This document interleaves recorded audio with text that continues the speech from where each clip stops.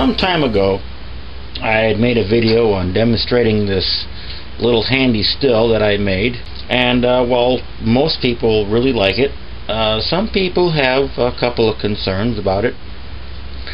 But I would recommend that you do upgrade this system as soon as possible. So that's what we're going to do today. We're going to upgrade this and it's almost as easy as the last one. So we're going to keep the coil. We're going to ditch this. This is still usable. I still use this when I clean out the coil and I clean out the coil every time before I use it with vinegar.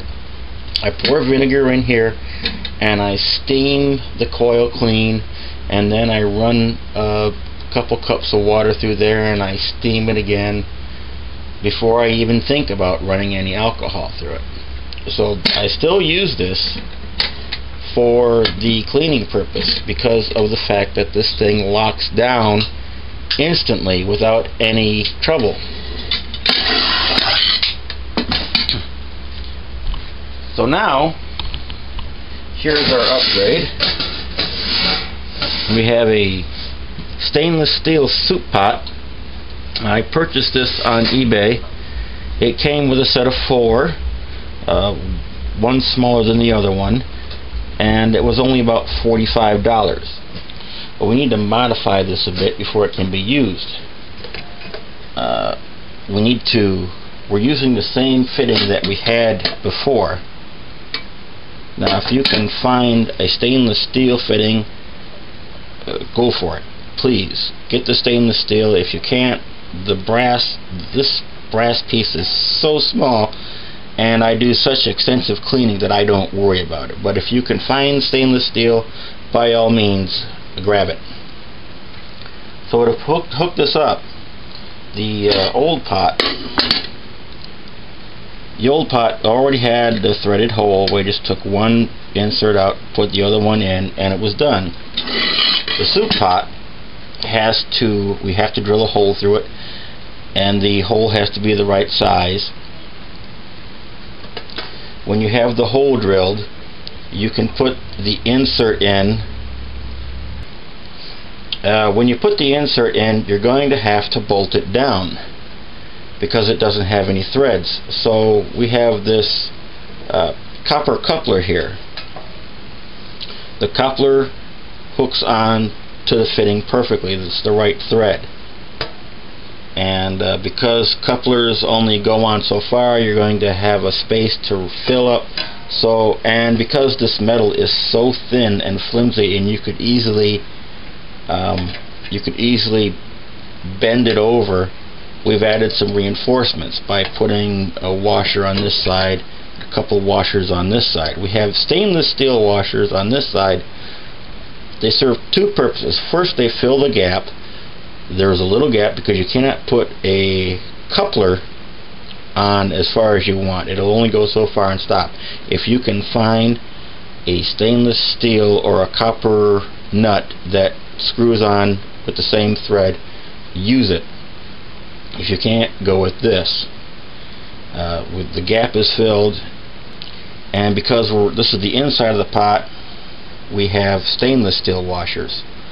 On the outside, I uh, didn't buy enough washers, so I looked through my toolbox and I had a a nice big steel washer, and that's on the outside, so we're not going to worry about that.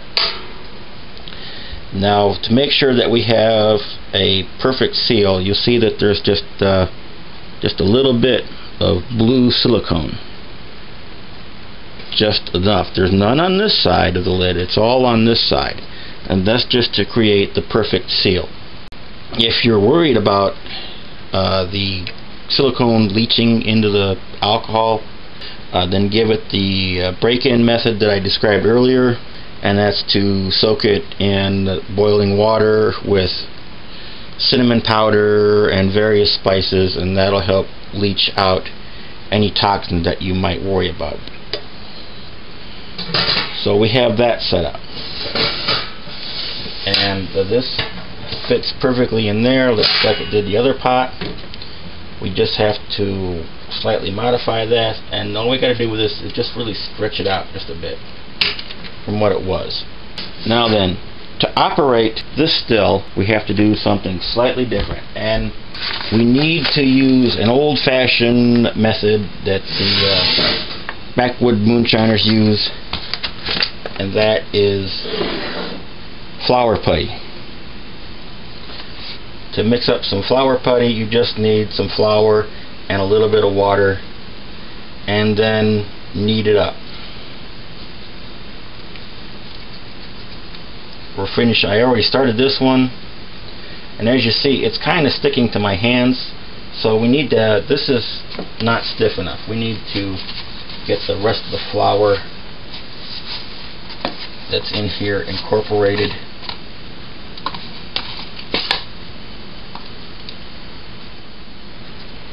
Okay, that's about the right consistency. Now to work this, uh, we have this. To get this set up,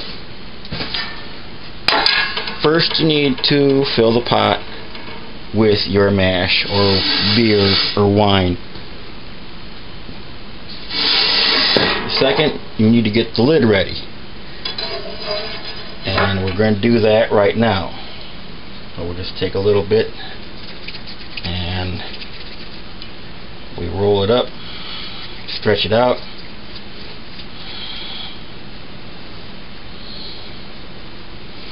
And we apply a generous amount to the lid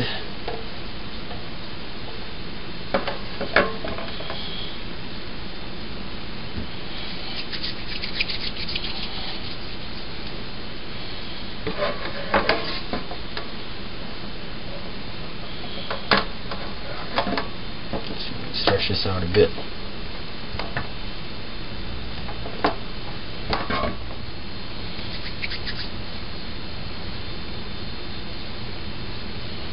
Okay. Applying the last of it.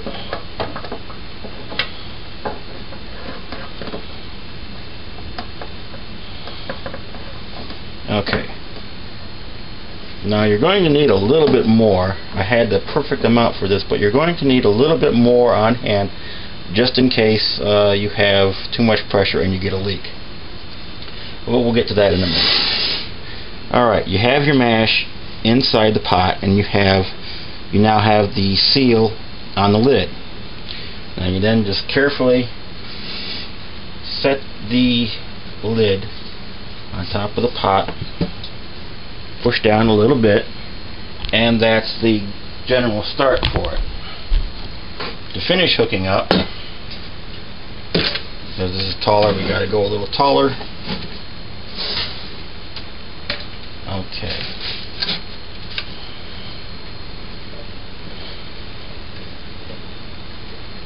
Now we need two wrenches this time. One to hold this steady and one to tighten it down.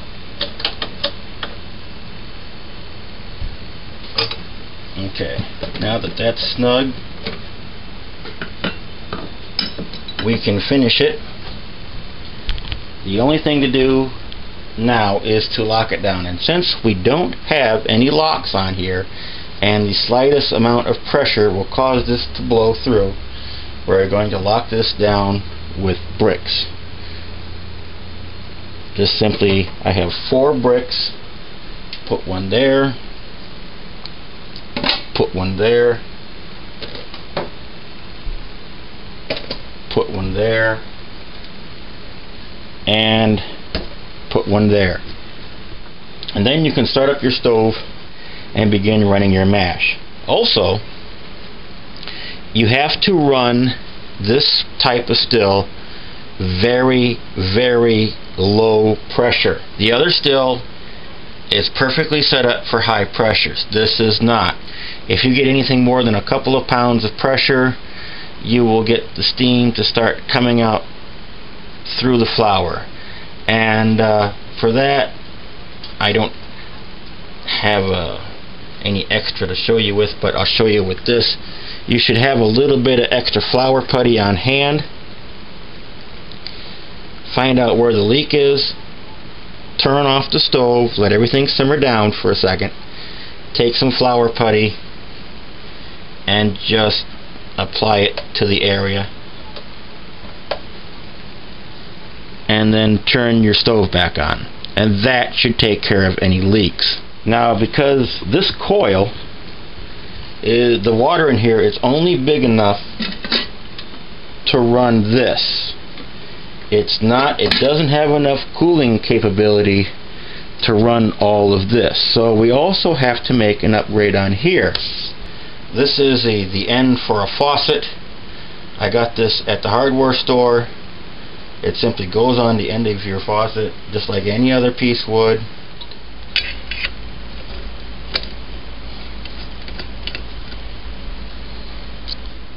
Why? Because the end is tapered and go take this to the hardware guy and said I need some hose some uh, plastic hose that fits on the end of this and here we go.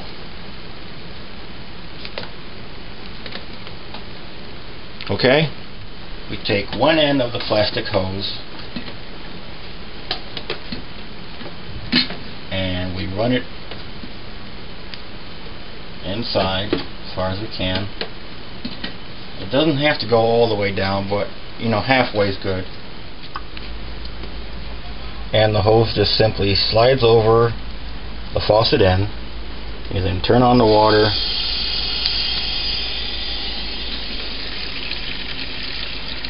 And your coil starts to fill up.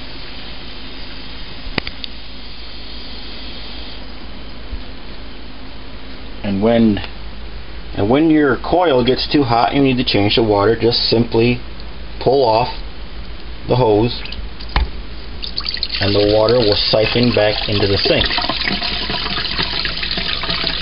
And that'll be your hot water discharge. You just need to check it every five minutes. You see we're almost empty there. Took about 15 seconds to empty and then we just fill it back up again